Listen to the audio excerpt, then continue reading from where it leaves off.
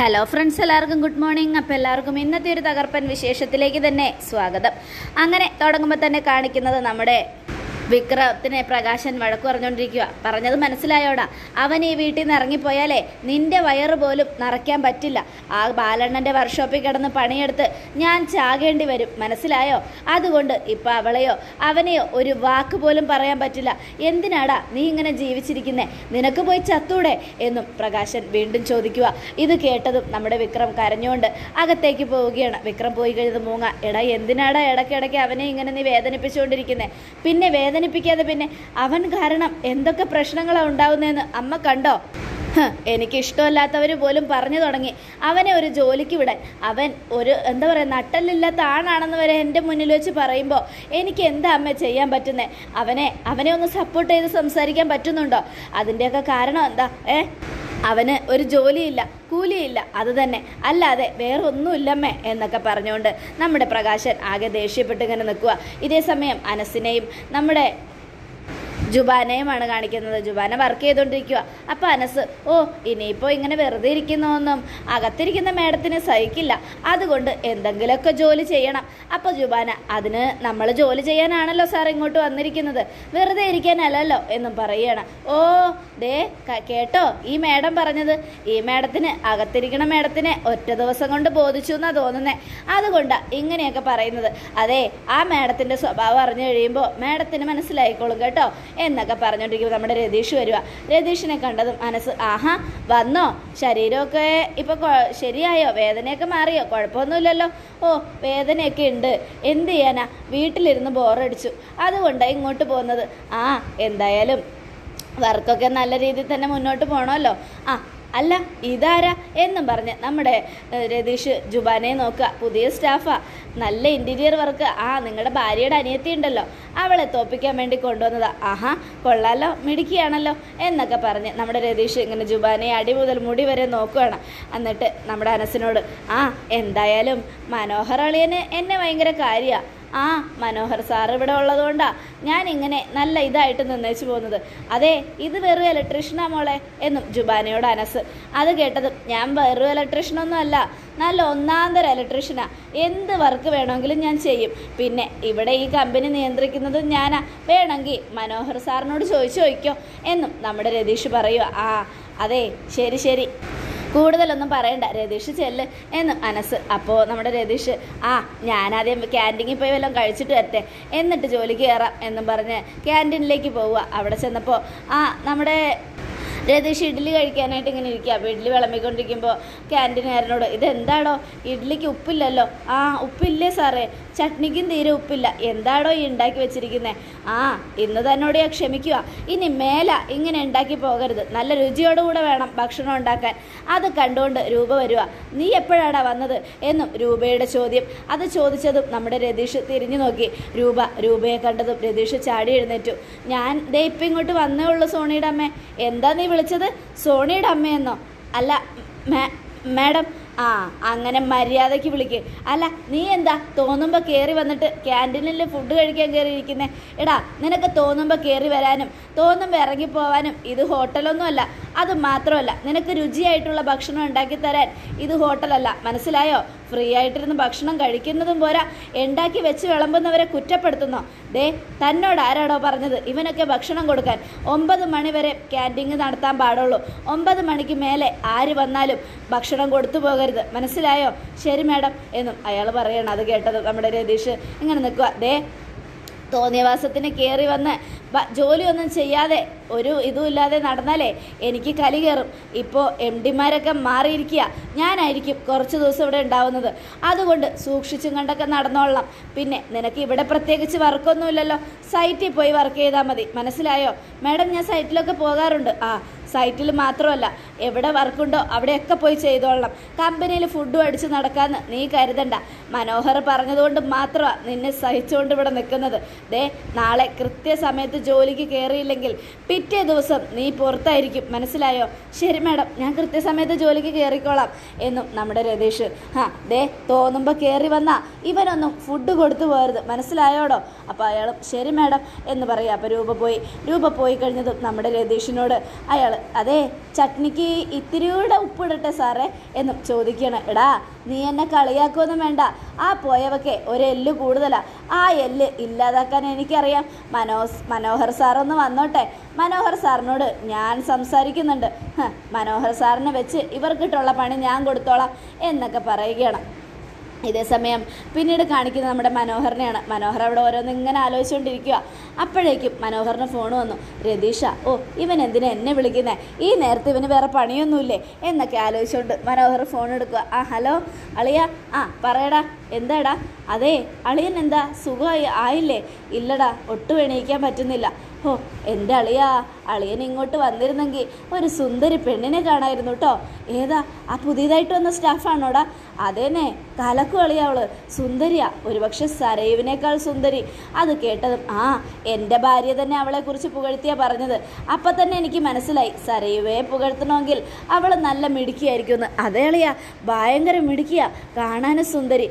പിന്നെ നന്നായിട്ട് ചിത്രം വരയ്ക്കുമെന്ന് പറഞ്ഞേ. ആ കൺസ്ട്രക്ഷൻ വർക്കും അറിയാമെന്ന് ആണോ? ഞാൻ കാണാൻ വരുന്നുണ്ട്. പക്ഷെ ഇപ്പം പറ്റുന്നില്ലല്ലോ രതീഷേ.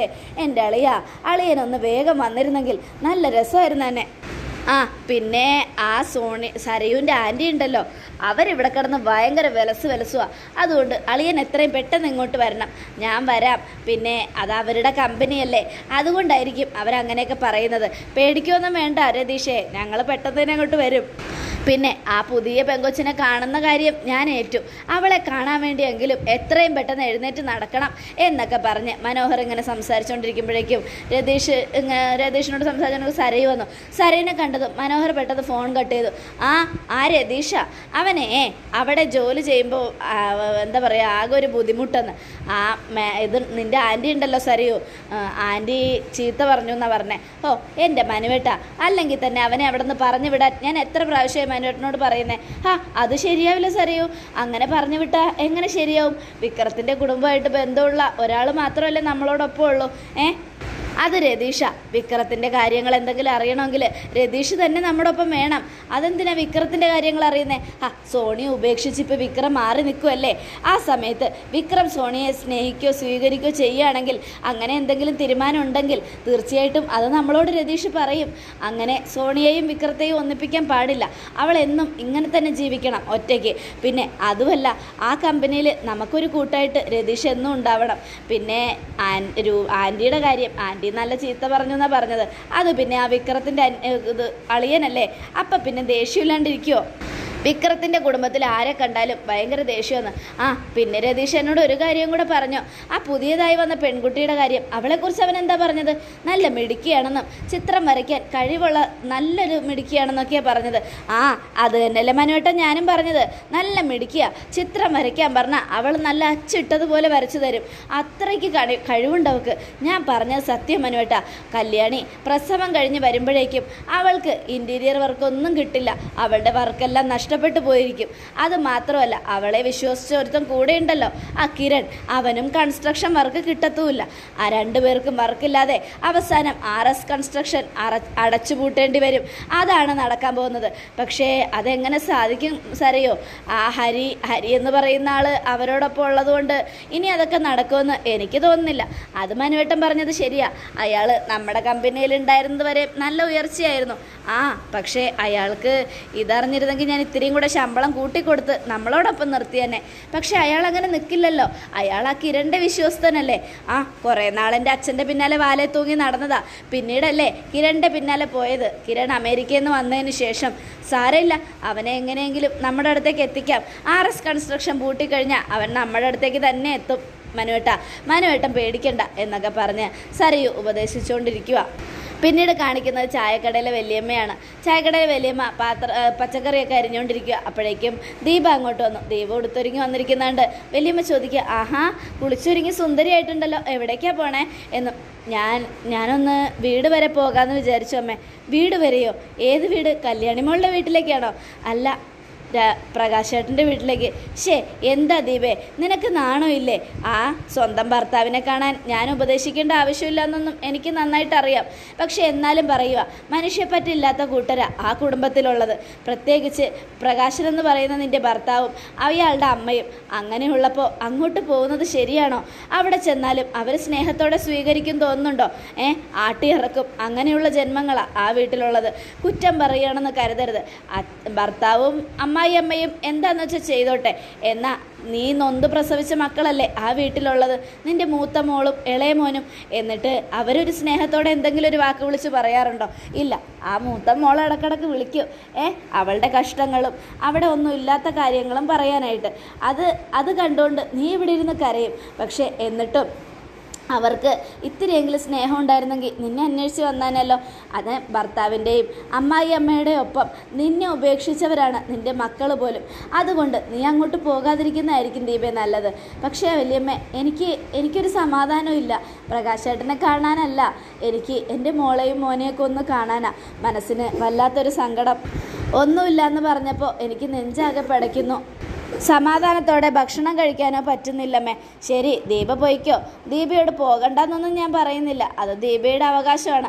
ദീപയ്ക്ക് വേണമെങ്കിൽ പോകാം. ഞാനതിനൊന്നും പറയത്തുമില്ല പിന്നെ എനിക്ക് പറയാനുള്ളത് എന്താണെന്ന് വെച്ചാൽ അവിടെ ചെന്ന് കഴിഞ്ഞാൽ വെറുതെ ആട്ടും തുപ്പും കേൾക്കേണ്ട ആവശ്യമുണ്ടോ? ഏ ആട്ടും തുപ്പും. പിന്നെ ആട്ടി ഇറക്കലും അടിയൊക്കെ ആയിരിക്കും. അതുകൊണ്ടാണ് ഞാൻ പറയുന്നത് എന്നും ഇല്ലമ്മേ എനിക്ക് എന്തൊക്കെ പ്രശ്നം ഉണ്ടായാലും കുഴപ്പമില്ല. അവിടെ വരെ ഒന്ന് പോകണം അവരെ ഒന്ന് കാണണം. എന്നെ ചീത്ത വിളിച്ചാലും ആട്ടി ഇറക്കിയാലും എനിക്ക് പ്രശ്നമില്ല. അവരുടെ മുഖമൊന്ന് കാണാമല്ലോ അത്രയേ ഉള്ളൂ. അത്ര മാത്രമേ എന്റെ മനസ്സിൽ ആഗ്രഹമുള്ളൂ എന്നും പറഞ്ഞ് നമ്മുടെ ദീപ വലിയമ്മയോട് യാത്ര പറഞ്ഞിട്ട് അങ്ങോട്ട് പോവുക. അപ്പോൾ സോണി വന്നു ആഹാ അമ്മ ഇത് എങ്ങോട്ടാണ് പോകുന്നത് എന്ന് ചോദിക്കുക. അത് അത് പിന്നെ ഞാനൊന്ന് പുറത്തു വരാൻ പോവുക മോളെ. അമ്മ കല്യാണിയുടെ വീട്ടിലേക്കാണോ പോകുന്നത് എന്നാൽ ഞാനും വരാം. ഏയ് കല്യാണിയുടെ വീട്ടിലേക്കല്ല. അമ്മ കുറച്ച് സാധനങ്ങൾ മേടിക്കാൻ വേണ്ടി പോവുക മോളെ. ബൈജു ഇവിടെ ഇല്ലല്ലോ. അതുകൊണ്ട് ഞാൻ തന്നെ കടയ്ക്ക് പോകാമെന്ന് കരുതി. അയ്യോ എന്നാൽ പിന്നെ ഞാനും വന്നാനല്ലോ അമ്മേ. സാരമില്ല മോളെ മോൾ കുഞ്ഞിന്റെ അടുത്ത് ഇരിക്കേ ഇപ്പം ബൈജു ഇല്ലാത്തതുകൊണ്ട് കുഞ്ഞിന്റെ അടുത്ത് ആരുമില്ലല്ലോ. അത് ശരിയമ്മേ ദേ വിക്രം സ്വന്തം അച്ഛനാ. എന്നിട്ട് വിക്രത്തെ കാണാത്തതിന് കൊച്ചിന് കുഴപ്പമൊന്നുമില്ല. പക്ഷേ ബൈജു ഒരു ദിവസം ഇല്ലെങ്കിൽ ഭയങ്കര കീറിപ്പൊളിയാ. എന്ത് ചെയ്യാനാ? ബൈജുവിനെ അത്രയ്ക്ക് അങ്ങോട്ട് അടുത്തു. മോൾക്കിപ്പോൾ ആൾക്കാരെയൊക്കെ തിരിച്ചറിയുന്നുണ്ടമ്മേ ബൈജുവിനെ ഭയങ്കര കാര്യമാണ് ബൈജു എന്ന് വെച്ചാൽ ജീവന. അതേ മോളെ. അതുകൊണ്ടാണല്ലോ ബൈജു ഇപ്പോൾ പാറമോളെ പോലും കാണാൻ പോകാതെ നമ്മളോടൊപ്പം തന്നെ നിൽക്കുന്നത് ആ എന്തായാലും ബൈജു ഉള്ളത് ഒരു ആശ്വാസം തന്നെയാണ് കുഞ്ഞിനെ കളിപ്പിക്കാനും അതിനെ കൊണ്ട് നടക്കാനും ഒക്കെ ബൈജു ഉണ്ടല്ലോ. അത് തന്നെ വലിയൊരു ഉപകാരം. ആ എന്നാ അമ്മ വൈകണ്ട. അമ്മ പോയിട്ട് വാ. എന്നും നമ്മുടെ സോണി ദീപയോട് പറയാണ്. ഇത് കേട്ടതും ദീപ എന്നാൽ ശരി മോളെ ഞാൻ പോയിട്ട് പെട്ടെന്ന് വരാട്ടോ. എന്നും പറഞ്ഞ് അവിടെ ഒന്നും പോയി. ദീപ പോയി കഴിഞ്ഞു. നമ്മുടെ സോണി ഇങ്ങനെ ആലോചിച്ചുകൊണ്ട് നിൽക്കുക പിന്നീട് മൂങ്ങയെയും നമ്മുടെ കാദംബരിയെ കാണിക്കുന്നത് എടി കൊച്ചേ കല്യാണി ഒരു കുഞ്ഞിനെ പ്രസവിച്ച് അതിനെ മടിയിൽ വെച്ച് കൊഞ്ചിക്കാറായി. ഇനി നിനക്ക് അങ്ങനെയുള്ള ആഗ്രഹങ്ങളൊന്നുമില്ലേ? ഓ എന്ത് ചെയ്യാനാ അമ്മുമ്മേ? അങ്ങനെയൊന്നും ചെയ്യണ്ടെന്നും അത് ശരിയല്ലെന്നും അങ്ങനെ ഒരു കുഞ്ഞുണ്ടായ ചിലവ് കൂടുമെന്നാണ് രതീഷേട്ടൻ പറയുന്നത്. എന്ത് ചെയ്യാനാ? രതീഷേട്ടനും കൂടെ മനസ്സ് വെക്കണ്ടേ? അത് കേട്ടതും നമ്മുടെ മൂങ്ങ എടി പണ്ടത്തെ ആൾക്കാരുടെ കയ്യിൽ വലിയ കാശൊന്നും ഉണ്ടായില്ല. കുറച്ച് കൃഷിയും പിന്നെ ഒരു ഒരു അത്യാവശ്യത്തിന് പണവും മാത്രമേ ഉണ്ടായിരുന്നുള്ളൂ. പക്ഷേ എന്നാലോ അന്നത്തെ കാലത്തുള്ളവർക്ക് അഞ്ചാറ് മക്കളാണ് എന്തിന്? പത്തിരുപത് മക്കൾ വരെ ഉള്ളവരുണ്ട്. അതൊക്കെ പണവും ചിലവ് നോക്കിയിട്ടാണ് അവർ പ്രസവിക്കുന്നത് അല്ല മക്കൾ ഉണ്ടാവുന്നത് ഒരു സന്തോഷമാടി നമ്മൾക്ക് ഒരാൾ വേണം കൂട്ടായിട്ട് അതിനു വേണ്ടിയാ മക്കൾ അല്ലാതെ ദേ ഓരോന്ന് പറഞ്ഞ് ചിലവ് കൂടുമെന്നും പറഞ്ഞ് ഇങ്ങനെ നിൽക്കാതെ ഇത്തിരി മര്യാദ മര്യാദയ്ക്ക് ഒരു കുഞ്ഞിനെ പ്രസവിക്കാൻ നോക്ക്. അത് കേട്ടത് കാദംബരി മൂങ്ങയുടെ മുഖത്തേക്ക് നോക്കും. അപ്പോഴേക്കും മൂങ്ങ പുറത്തേക്ക് നോക്കി. ദേ വരുന്നു ഒരുത്തി അപ്പോൾ നമ്മുടെ കാദംബരി ആ ദേ അമ്മയുടെ മരുമോൾ വരു അമ്മമ്മയുടെ മരുമോൾ വരുന്നു. എന്റെ മരുമോളോ നിന്റെ അമ്മയല്ലേടി എന്ന് മൂങ്ങയുടെ ചോദ്യം. ആ അമ്മയാണെന്ന് പറഞ്ഞിട്ട് എന്താ കാര്യം? അമ്മയായിട്ടൊന്നും അമ്മയുടെ സ്നേഹമൊന്നും ഞങ്ങൾക്ക് തന്നിട്ടില്ലല്ലോ എന്ന് കാദംബരി അപ്പോഴേക്കും ദീപാകത്തേക്ക് വന്നു. എന്താ? എന്തിനാടി നീ ഇങ്ങോട്ട് വന്നത്? അതമ്മേ ഇവിടെ ഭയങ്കര കഷ്ടമാണെന്ന് കാദംബരി മോൾ വിളിച്ചു പറഞ്ഞു. അതുകൊണ്ട് കുറച്ച് പച്ചക്കറി മേടിച്ചുകൊണ്ട് വന്നതാ. ആ ദേ ഇവൾ വഴിതെറ്റി വന്നതാ. എന്നാലും സാരമില്ല. ആ പച്ചക്കറി അങ്ങോട്ട് മേടിച്ചു തരും മോളെ എന്നും കാദംബരിയോട് പറയുകയാണ് മൂങ്ങ. അത് കേട്ടതും കാദംബരി മേടിക്കാനായിട്ട് ഒരുങ്ങുക അപ്പോൾ പ്രകാശൻ തൊട്ടു പോകരുത്. ആ സാധനം മേടിച്ചു പോലും പോകരുത്. അപ്പോൾ രണ്ടുപേരും പേടിയോടുകൂടെ അങ്ങോട്ട് നോക്കി പ്രകാശൻ അടുത്തേക്ക് ചെന്നു. അടുത്ത് ചെന്നിട്ട് ആ പച്ചക്കറി ഇങ്ങോട്ടെന്നേ എന്നും പറഞ്ഞ് മേടിച്ച് തൂക്കി എറിഞ്ഞു നീ എന്താടി കരുതി? കരുതിയേ ഞങ്ങൾ ഇവിടെ പട്ടിണി കിടക്കുവാന്നോ? ദേ ഒരു കാര്യം ഞാൻ പറഞ്ഞേക്കാം. ഇതും നിന്റെ മരുമോനും മരുമോളും തന്നതായിരിക്കും. മധുര സമ്മാനം. ഞങ്ങൾ അടികിട്ടി കിടക്കുക എന്ന് പറഞ്ഞപ്പോൾ വേണ്ടടി ഞങ്ങൾക്ക് ഇത് വേണ്ട. ഞങ്ങളെ പട്ടിണിയൊന്നുമല്ല മനസ്സിലായോ? അങ്ങനെ പട്ടിണി ആയാലും നിന്റെ ഒന്നും മുന്നിൽ വന്ന് ഓച്ചാനിച്ച് നിൽക്കാനും പോകുന്നില്ല. ഒരു കാര്യം ഞാൻ പറഞ്ഞേക്കാം. നീ കൊണ്ടുവരുന്നതോ നിന്റെ മക്കൾ തരുന്നതോ ഒന്നും എനിക്ക് ആവശ്യമില്ല. പിന്നെ നിന്നെ ഞങ്ങൾ അന്നേ പടിയടച്ച് പിണ്ടം വെച്ചതാ. അതിനുശേഷം നീ വീണ്ടും വീണ്ടും വലിഞ്ഞു കയറി വരുന്നത് എന്തിനാ? അതെ പ്രകാശ അത് തന്നെയാ ഞാൻ ഇവളോട് ചോദിക്കാനിരുന്നത്. എടി നിന്നെ ഞങ്ങൾ അന്നേ നടു റോട്ടിൽ ഉപേക്ഷിച്ചതല്ലേ? പിന്നെ നീ വലിഞ്ഞു കയറി വരുന്നത് എന്തിനാ? എന്റെ മോനെ ക്യാൻസർ ആണെന്ന് വരെ പറഞ്ഞു പരത്തി. ഓ അത് പറഞ്ഞു പരത്തിയത് ഞങ്ങളാരുമല്ല. ആ സരിയുന്റെ അമ്മയാ. വേണ്ടടി നീ മിണ്ടണ്ട. ഞങ്ങൾക്കറിയാം ആരാണത് പറഞ്ഞു പരത്തിയതെന്ന്. എന്തായാലും ദേ നീയൊക്കെ എന്തൊക്കെ പറഞ്ഞാലും ഞാൻ പട്ടിണിയാവില്ലടി. അങ്ങനെ പട്ടിണിയാവാൻ സമ്മതിക്കില്ല ഞാൻ. പിന്നെ എന്റെ വീട്ടിലേക്ക് ഒരു കാര്യത്തിന് നീ വന്നു പോകരുത്. നല്ലതായാലും ചീത്തതായാലും ആരും മരിച്ചാൽ പോലും ആ വിവരം ഞങ്ങളെ അറിയിക്കണമെന്നില്ല. മനസ്സിലായോ? ഏ? ഇനി ഈ കാര്യം പറഞ്ഞ് സാധനങ്ങൾ മേടിച്ചുകൊണ്ട് വന്ന നിന്റെ കരുണടിച്ചാൻ പോയിക്കും. അത് കേട്ടത് ദീപ ഓ ഒന്നെന്റെ മക്കളെ കാണണമെന്ന് കരുതി വന്നതാ. ഇവിടെ വരുമ്പോൾ വെറും കൈയോടെ വരാൻ പാടില്ലല്ലോ. അതിനാ പച്ചക്കറി മേടിച്ചുകൊണ്ട് വന്നത്. ആ ചായക്കടയിലെ വലിയമ്മ പറഞ്ഞതാ പോകണ്ട പോയി കഴിഞ്ഞാൽ അവിടെ ചെന്ന അപമാനം മാത്രമേ ഉണ്ടാവുള്ളൂ എന്ന് പക്ഷെ അതുപോലും കേൾക്കാതെയാ ഞാൻ വന്നത്. പറഞ്ഞിട്ടെന്താ കാര്യം? എന്റെ മനസ്സ് അങ്ങനെ ആയിപ്പോയി. വേണ്ടടി നീ ഒരുപാട് അഹങ്കാരമൊന്നും കാണിക്കണ്ട. നിന്റെ അഹങ്കാരം എന്താണെന്ന് എനിക്കിപ്പോൾ നന്നായിട്ട് അറിയാം നിന്റെ മോൾ പ്രസവിക്കാൻ പോകുന്ന ഒരു കുഞ്ഞിനെ കുറിച്ച് ഓർത്തല്ലേ നിന്റെ അഹങ്കാരം? എന്നാ കേട്ടോടി. അവൾ പ്രസവിക്കും. ഒരു കുഞ്ഞിന് കുഞ്ഞിന് അവൾ ജന്മം നൽകും. പക്ഷേ സംസാരിക്കാൻ കഴിയാത്ത ഒരു കുഞ്ഞായിരിക്കും അവളുടെ വയറ്റിൽ നിന്നും പറന്നു വീഴുന്നത് എന്നും പ്രകാശം പറയുക. ഇത് കേട്ടതും ദീപം ഞെട്ടി. അതോടുകൂടെ എപ്പിസോഡ് അവസാനിക്കുകയാണ്. നാളത്തെ ഒരു തകർപ്പൻ വിശേഷത്തിനായിട്ട് കാത്തിരിക്കുക. എല്ലാവർക്കും ഒരിക്കൽ കൂടെ നല്ലൊരു ശുഭദിനം തന്നെ ആയിക്കോട്ടെ. Thank you friends